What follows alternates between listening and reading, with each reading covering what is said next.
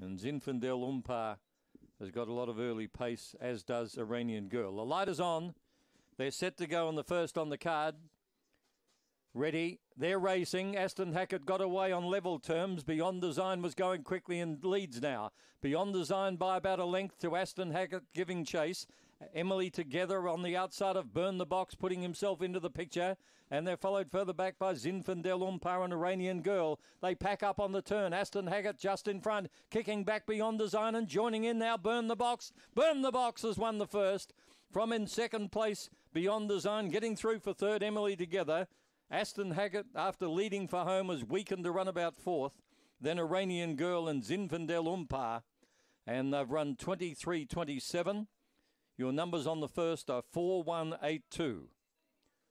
4182 came down the outside, Burn the Box with uh, a powerful run, a length by length.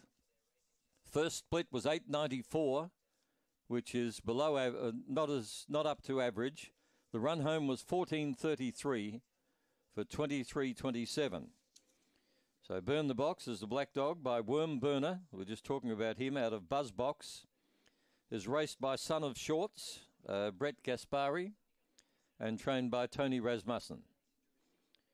He's been a, a good dog for uh, Brett Gaspari. He's won uh, 10 races with another 13 minor placings.